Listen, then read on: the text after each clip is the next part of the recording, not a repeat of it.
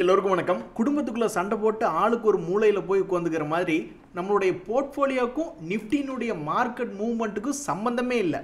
நேற்று என்னடான்னா மார்க்கெட்டு இறங்குற மாதிரி இருந்தால் ஆனால் நம்மளுடைய போர்ட்ஃபோலியோலாம் மோஸ்ட்லி பாசிட்டிவ் இருந்தானு. இன்றைக்கி மார்க்கெட் இருக்கிறதுலே உச்சத்தில் போயிருக்கா ஆனால் இன்றைக்கி என்னடான்னா ரொம்ப ஸ்லோவாக இருக்குது போர்ட்ஃபோலியோ. என்ன கன்றாவினே புரியல. இந்த சமயத்தில் ஒன்று மட்டும் நல்லா புரியுது. ஷேர் மார்க்கெட்டில் ஜெயிக்கிறதுக்கு தேவை முதல் குவாலிட்டி என்ன அப்படின்னா ஒரு வருஷம் ஆடாமல் அசையாமல் உங்களால் உட்கார முடியுமா? அதாவது மனத்தை இங்கேயும் அங்கேயும் அலைபாய விடாமல் ஒரு வருஷம் சும்மா உட்காந்துருக்கணும் இன்னைக்கு இந்த பாரத் ரசாயன் ஷேர் பாருங்க இருபது பர்சன்டேஜ் ஏறி ஒரே நாள் அப்பர் ஃபீஸ் ஆயிருக்கான். இதுக்கெல்லாம் என்ன காரணம் அப்படின்னு பார்த்தீங்கன்னா ஃபர்ஸ்ட் ஆஃப் ஆல் இது வந்து ஒரு லாபம் செஞ்சு கொண்டிருக்கக்கூடிய கம்பெனி தொடர்ந்து இது லாபம் செஞ்சு கொண்டிருக்கக்கூடிய கம்பெனி பட் மார்க்கெட்டினுடைய ஏற்ற இறக்கங்களால கடந்த மூணு வருஷத்துல என்னன்னா அப்படின்னு பார்த்தீங்கன்னா அவனுடைய ஹை ரேட்லேருந்து கீழே விழுந்துட்டான். கடந்த அஞ்சு வருஷ பீரியடில் பார்த்தீங்கன்னாலும் அதே தான் நடந்திருக்கும். அவன் வந்து மேலேருந்து கீழே இறங்கி ஆல்மோஸ்ட் ஒன்னே கால் வருஷம் அவன் எங்கேயுமே மூவ்மெண்ட்டே கொடுக்கல. கீழே விழுந்தவன் கீழே தான் கிடக்குறான். ஆனாலும் நம்ம மனசுக்குள்ளே என்ன ஓடிக்கிட்டே இருந்திருக்கணும்? இது வந்து ஒரு லாபம் செய்யக்கூடிய கம்பெனி அது மட்டும் இல்லை இதெல்லாம் டிஐஸ் கொஞ்சோண்டு ஹோல்டிங் பண்ணிக்கிட்டு இருக்காங்க. அது மட்டும் இல்லை இது வந்து கடன் ரொம்ப ரொம்ப குறைவான கம்பெனி கடனே இல்லைன்னே வச்சுக்கலாம். கடனே இல்லாத ஒரு கம்பெனி அப்படின்றதெல்லாம் நம்மளுடைய மனசுக்குள்ள வந்து வந்து போகணும். அதனுடைய பலன் என்னாச்சு அப்படின்னு பார்த்தீங்கன்னா கீழே நாலாயிரத்தி ஐநூறு ரூபாய் ரேஞ்சில் இருந்தவன் இன்னைக்கு பன்னெண்டாயிரத்தி எட்நூற்றி பதினஞ்சு. அதாவது ரெண்டாயிரத்தி பத்தொம்போதில் நாலாயிரத்தி எழுநூறுவா ரேஞ்ச் இருந்தான். இந்த ஒரு வருஷத்தில் பார்க்கும் பொழுது கீழ் ரேட்டில் எட்டாயிரத்தி நானூறுரூவா வந்தவன் இன்னைக்கு பதிமூணாயிரம் பாயிண்டுகள் ஸோ ஷேர் மார்க்கெட் என்றைக்குமே உங்களை காப்பாற்றி விட்றதுக்காக காத்துக்கிட்டு இருக்கு. நீங்கள் அவன் கையை தட்டி விட்டுட்டு நீங்கள் போயிட்டே ஒரு பிசிஜி கும்பா குட்டி ஷேர் அவனே செபிக்கு அவனுக்கு ஆகாமல் அவன் ப எக்ஸ்சேஞ்சுக்கு ஆகாமல் பல டேட்டாக்களை கொடுக்காம வந்திருக்கான் அவன் கையை போய் பிடிச்சிக்கிறது. அவன் எப்படி உங்களை காப்பாற்றுவான் கொண்டு போய் நட்டாத்தில் விட்டுட்டு போயிடுவான். ஸோ லாபம் செய்யக்கூடிய கம்பெனி இன்ஸ்டியூஷன்ஸ் வச்சுருக்கக்கூடிய கம்பெனி கடன் இல்லாத கம்பெனி டிவிடெண்ட் கொடுக்கக்கூடிய கம்பெனி இது மாதிரி முத்து முத்தாக நீங்கள் பார்த்தெடுத்து உங்களை என்னைக்காவது அவன் ஒரு வருஷம் சும்மா உட்கார வச்சுருந்தாலும் ஒரு வருஷத்தினுடைய முடிவில் அருமையான லாபம் அப்படின்றது கொடுப்பான். ஹே மேன் ஒரு ஜென்டில்மேன் பார்த்து கேட்குற கேள்வியா இது? What nonsense you are talking about me அப்படிங்கிற மாதிரி இந்த ஓலா எலக்ட்ரிக் அப்படின்றது உலகமே கழுவி கழுவி ஊற்றின ஒரு ஐபிஓ இந்த ஐபிஓ வந்து சிக்ஸ்டீன் பர்சன்டேஜுக்கு மேலே ஆல்மோஸ்ட் லிஸ்டிங் கெயின் வரக்கூடிய வாய்ப்பு இருக்குது அப்படின்ற ஒரு கருத்தில் இருந்தது. இந்த ஓலா ஐபிஓ வந்து சிக்ஸ்டீன் பர்சன்டேஜ் பாசிட்டிவ்ல லிஸ்டிங் ஆகக்கூடிய வாய்ப்பு இருக்குன்னு அந்த ஐபிஓ ஓப்பன் ஆன காலத்தில் இருந்தது. அப்புறம் கழுத தேஞ்சு கட்டெருந்த கட்டெரும்பான கதையாக மைனஸ் ஃபோர் பர்சன்டேஜில் தான் லிஸ்டிங் அதாவது லாஸ்ட்டில் தான் இது லிஸ்டிங் ஆகக்கூடிய வாய்ப்பு இருக்குது அப்படின்ற மாதிரி இருந்தது. கடைசியில் பார்த்தா இது பாசிட்டிவில் லிஸ்டிங் ஆகி கடைசியில் அப்பர் ஃப்ரீஸ்லேயே போய் நடந்திருக்கு. இது உண்மையிலேயே it's a really a medical miracle வீட்டிலேயே இருந்தோம்னா சில நேரங்களில் நம்மளுக்கு பைத்தியம் முடிச்சிடும் ஏன்டா வீட்டில் இருக்கோம்? வெளியே ஒரு டீ குடிக்கிறக்காவது போகலாமே அப்படின்ற மாதிரி. அது மாதிரி தான் இந்த ஓலா எலக்ட்ரிக்கை கெஸ் பண்ணவங்க அனலைஸ் பண்ணவங்க எல்லாத்து எல்லாத்துக்குமே பைத்தியம் பிடிக்காத குறை தான். நண்பர்களே இந்த சமயத்தில் இந்த இந்த சக்ஸஸ் ஸ்டோரி பாருங்களேன். ஏஸ்டர் டிஎம் அப்படின்னு ஒரு ஷேர் உங்களுக்கு ஞாபகம் இருக்கா? திடீர்னு நூற்றி பதினெட்டு ரூபா அதாவது அவன் கல்ஃப் கண்ட்ரீஸ்லாம் அவனுக்கு ஆப்ரேஷன்ஸ் இருக்குது அந்த பிஸ்னஸ் அவன் செல் பண்ணுறதுனால ஒரு நல்ல பல்காக ஒரு அமௌண்ட் வந்துச்சு.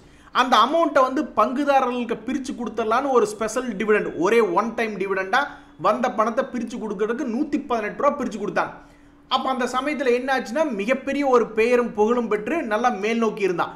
ஆனால் அந்த நூற்றி பதினெட்டு ரூபா டிவிடெண்ட் கொடுத்ததுக்கப்புறம் டொங்கின் கீழே இறங்கிட்டான்.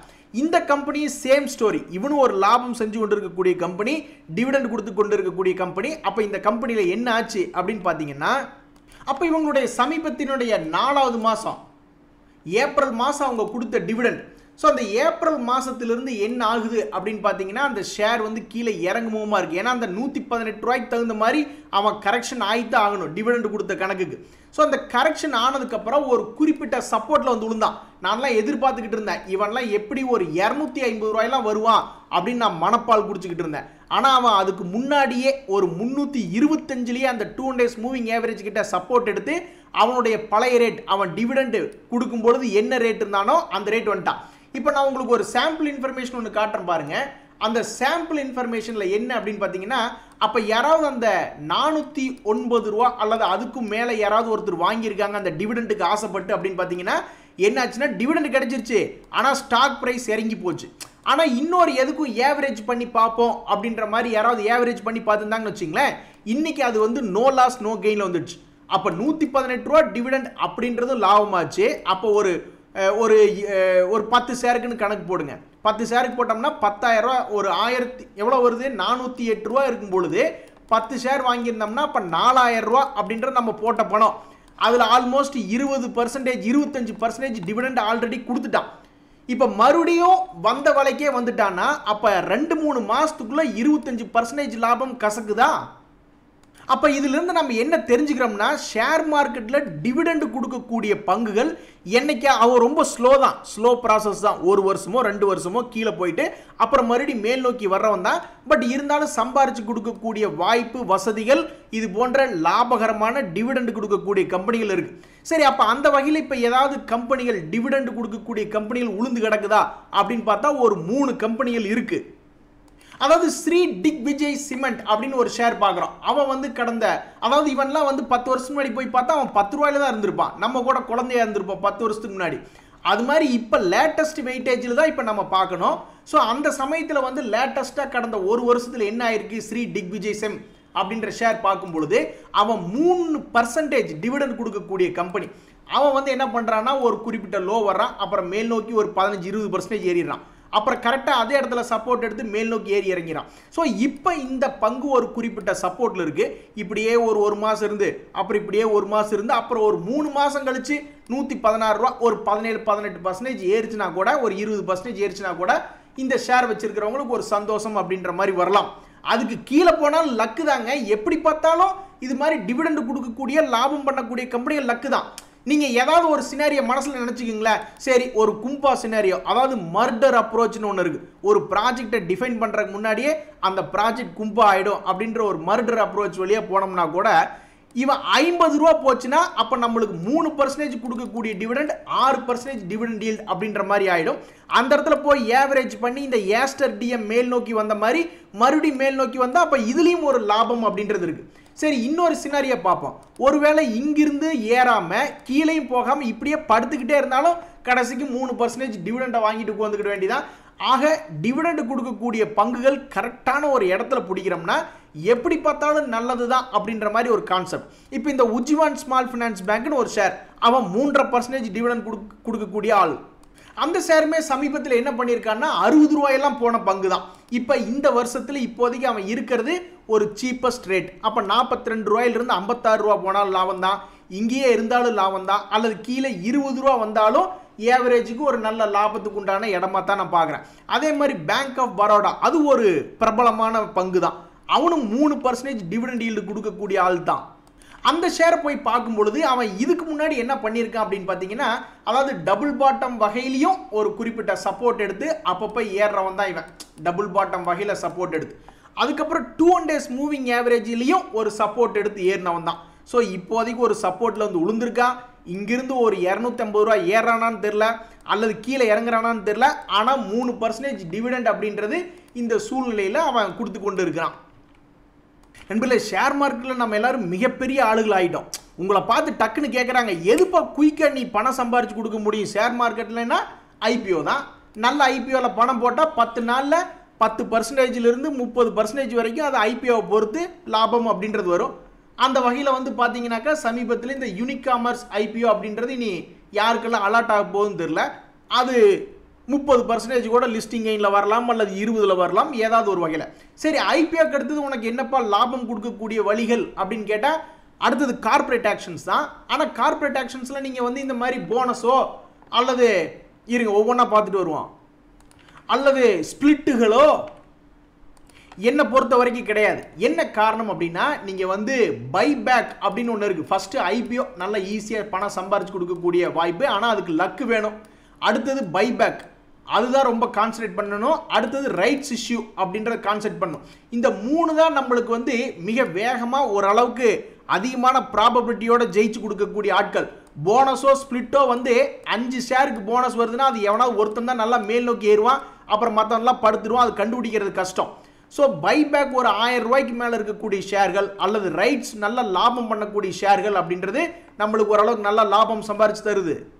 இப்போ இது ஏன் நான் உங்களுக்கு சொல்கிறேன் அப்படின்னா இப்போ நீங்கள் ஒரு சில டம்மி தகவல்களை பாருங்களேன். அதாவது இப்போ சமீபத்தில் வந்த பைபேக்ஸில் இந்த சிரா அப்படின்ற ஒன்று எடுத்துங்க தொள்ளாயிரத்தி ஐம்பது ரூபா இருக்கும்போது பைபேக் அப்படின்ற அனௌன்ஸ்மெண்ட் வந்தது.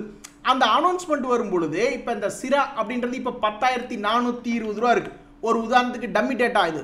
யாராவது ஒருத்தர் ஒரு ஷேர் மட்டும் வாங்கியிருந்தா கூட ஒரு பதினஞ்சு பர்சன்டேஜ் எத்தனை நாள் ஆச்சு? ஒரு பதினஞ்சு நாள் அதுக்குள்ளே தான் இருக்கு. இப்போ இந்த ஏஏ அப்படின்றது நாலாயிரத்தி அறநூறுவா ட்ரேட் ஆகிட்டு இருக்கும்பொழுது பைபேக் அப்படின்ற நியூஸ் வந்துச்சு. ஆனால் அது என்ன ரேட்டுக்கு பைபேக் அப்படின்றதெல்லாம் நம்மளுக்கு தெரியாது. பட் அதை வந்து இவங்க என்ன சொல்கிறாங்க அப்படின்னு பார்த்தீங்கன்னா இப்போ போய் பார்க்கும் பொழுது ஆல்மோஸ்ட் ஐயாயிரம் ரூபாய்க்கு வாங்கிறேன்றாங்க. அப்போ அதில் ஒரு முந்நூற்றி ஐம்பது ரூபா அப்படின்ற மாதிரி இருக்கலாம். அதே மாதிரி கேடிடிஎல்னு ஒரு ஷேர் அவன் வந்து இப்போ அந்த அனௌன்ஸ்மெண்ட் வந்ததுக்கப்புறம் இப்போ ஒரு ஏழு பர்சன்டேஜ் ஏறி இருக்கான் இருந்தாலும் லாஸ்ட் ட்ரேடிங் ப்ரைஸ் வந்து மூவாயிரத்தி ஐநூற்றி எண்பத்தாறு ரூபா தான் அவங்க என்ன ரேட்டுக்கு வாங்கிக்கிறாங்க அப்படின்னா மூவாயிரத்தி எழுநூறுவா. இப்போ ஒவ்வொரு ஷேர் வாங்கி அப்ளை பண்ணும்பொழுது ஏன்னா இதனுடைய காஸ்ட் ப்ரைஸ்லாம் ரொம்ப அதிகம். பத்தாயிரம் ரூபா ஷேரு நாலாயிரம் ரூபா ஷேர் ஸோ இதெல்லாம் வந்து ஒரு இருபது பர்சன்டேஜ் பதினஞ்சு பர்சன்டேஜ் கிடைச்சா பரவாயில்ல. இப்போ இதே இந்த நவ்னீத் எது இதை வாங்கி வச்சு என்ன பிரயோஜனம்? ஒரு பத்து பைசாக்கு பிரயோஜனம் இல்லை. இந்த ஆரோ ஃபார்மா வாங்கி வச்சு என்ன பிரயோஜனம்? பத்து பைசாக்கு பிரயோஜனம் இல்லாமல் பண்ணிட்டான். ஏன்னா அனௌன்ஸ்மெண்ட் வரும்பொழுது அவங்க என்ன ரேட்டுக்கு பைபேக் பண்ணுவாங்கன்னு தெரியாது. நம்ம பாட்டுக்கு ஆசைப்பட்டு சரி இவன் ஏதாவது ஒரு நல்ல ரேட்டுக்கு பைபேக் பண்ணுவான்னு பார்த்தா விட்டா இனிமேல் எதிர்காலத்தில் மார்க்கெட் ரேட்டை விடவும் கம்மியாக பைபேக் பண்ணுவானு போல். ஸோ இப்போ ஆயிரத்தி நானூற்றி பதினேழு ரூபாய்க்கு ஒருத்தர் ஆசைப்பட்டு எடுத்து வச்சிருக்காங்கன்னு வச்சுங்க ஒரு ஷேரை ஆனால் அவன் பைபேக் பண்ணுறது வந்து ஜென்ரலாக ஆயிரத்தி எழுநூறுவா ஆயிரத்தி எட்நூறுவான்னு ஒரு இருபது டு முப்பது பர்சன்டேஜ் ப்ரீமியம் வரும். சில சமயம் இந்த மாதிரி நம்மளுக்கு காதில் பூ வச்சுட்டு போயிடுவாங்க அந்த சமயத்தில் ஒன்றும் பண்ண முடியாது. இப்போ பைபேக்குக்கு பிடிக்கக்கூடிய டேக்ஸ் வந்து நம்மளுடைய கஸ்டமர் அதாவது அந்த எண்ட் கிளைண்ட் பெனிஃபிஷரிட்ட பிடிக்கிற மாதிரி ஆகிப்போச்சு அதனால மேபி எதிர்காலத்தில் இன்னுமே நிறைய பைபேக்ஸ் வரலாம். இதில் சிம்பனி அப்படின்ற பைபேக் எல்லாம் சரித்திரம். நூறு பர்சன்டேஜ் ப்ரீமியத்தில் பைபேக் வாங்கிக்கன்றாங்க அதே மாதிரி இந்த விஎல்எஸ் ஃபினான்ஸ் ஒன்று பார்த்துக்கிட்டு இருந்து இதனுடைய ப்ரைஸ்லாம் நான் இன்னும் பார்க்கல. தனுக்கு அக்ரிடெக் இது மாதிரி ஒரு பைபேக்கு சம்மன்லால் ஸோ இது போன்ற பங்குகள்லாம் ஃபஸ்ட் எடுத்தோடனே பார்க்க வேண்டியது இவனுங்கெல்லாம் ஆயிரம் ரூபாய்க்கு மேலே இருக்கக்கூடிய ஷேர்களா அதுக்கப்புறம் நம்பிக்கையாக மனசுக்குள்ளே சரி எப்படி ஒரு ஆயிரத்தி இரநூறுவா ஒரு இருபது பர்சன்டேஜாவது ப்ரீமியம் வைப்பானுங்க அப்படின்ற மாதிரி நினச்சி பண்ணும்பொழுது ஒரு மாதத்துக்கு ஒரு பத்து பைபேக் வந்ததுன்னா கூட ஒவ்வொரு பைபேக்குக்கும் ஒரு இரநூறுவா கிடைச்சிது அப்படின்னா கூட ஒரு ரெண்டாயிரரூவா இந்த ரெண்டாயிரரூவா என்ன கசக்குதா?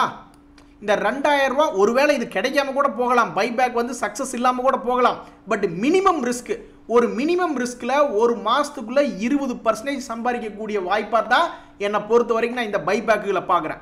அடுத்தது ஐபிஓக்கு அடுத்தது பைபேக்கு அடுத்தது வேற என்ன நம்மளுக்கு பணம் சம்பாரிச்சு கொடுக்கக்கூடிய ஆட்கள் அப்படின்னு பார்த்தோம்னா நல்ல லாபகரமான கம்பெனியாக இருக்கணும். அவனுக்கு ரைட்ஸ் இஷ்யூ அப்படின்ற அனௌன்ஸ்மெண்ட் வரும் பொழுது அது நம்மளுக்கு மேபி உதவி செய்யலாம். சவுத் இந்தியன் பேங்க்லாம் நாற்பது பர்சன்டேஜ் சம்பாரிச்சு கொடுத்தா அந்த அனௌன்ஸ்மெண்ட் வந்ததுக்கப்புறம். ஸோ என்னை பொறுத்த வரைக்கும் இந்த போனஸு ஸ்பிளிட்டு இதெல்லாம் வந்து நம்மளால் கண்டுபிடிக்க முடியாது. பத்து ஷேர் போனஸ் அனௌன்ஸ்மெண்ட் வருதுன்னா அதில் வந்து ஏதாவது ஒருத்தர் ரெண்டு பேர் தான் பெருசாக ஏறுவா மீதியெல்லாம் மண்ணுக்குள்ளே போட்டு மூடுற மாதிரி தான் நான் பார்த்துருக்கேன்.